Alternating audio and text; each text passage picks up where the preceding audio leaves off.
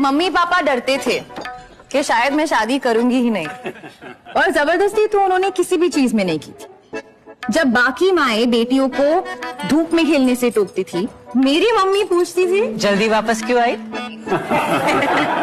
दोस्तों के पापा उन्हें फिजिक्स सिखाते थे और मेरे पापा फ़िल्में दिखाते।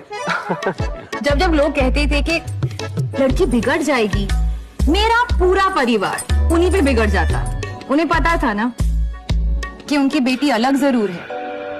पर गलत नहीं। संस्कार तो सभी माँ बाप देते हैं, पर उन्होंने मुझे कॉन्फिडेंस दिया। जैसी थी, वैसी रहने का। और अब वही कॉन्फिडेंस लेके मैं नए घर जा रही हूँ, नए रिश्ते ढूँढने, जो मुझे उन्हीं की तरह बिगाड़ के रखे। मोहे, दुल्हन वाली फीलिंग